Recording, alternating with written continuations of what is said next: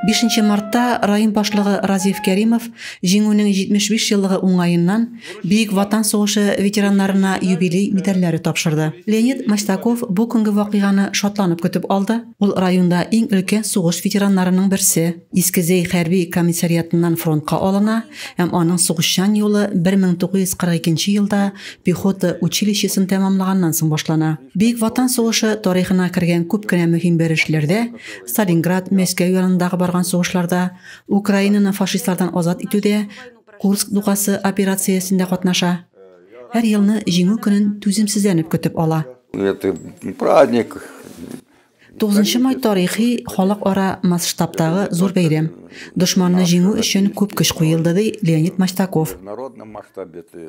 В народном масштабе это Ветеранга медальне Разиф Кәримов тапшырды.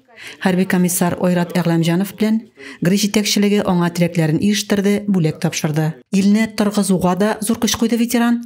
Электр станциясе төзелешенең беренче көненнән данлы төзелештә катнаша һәм биредә дә хезмәт куя. Александрович и Рамиль Габдулович двигали движение, движение это строительство.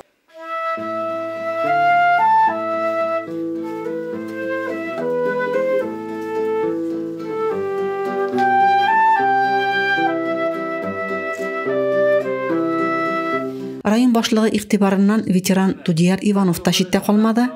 Ветеранның дулкынлануы йөзенә үк чыккан иде. Тудияр сугышка 1944 елны алына. Башта ул хәрби уку өйрәнүләр уза, аннан запастагы 98 һәм 363 укчылар полкында хезмәт итә. Сугыш беткәннән соң аны Ирак, Мурманск якларына хезмәт итәргә җибәрәләр. Туган авылы Канашка 1951 елны гына кайта.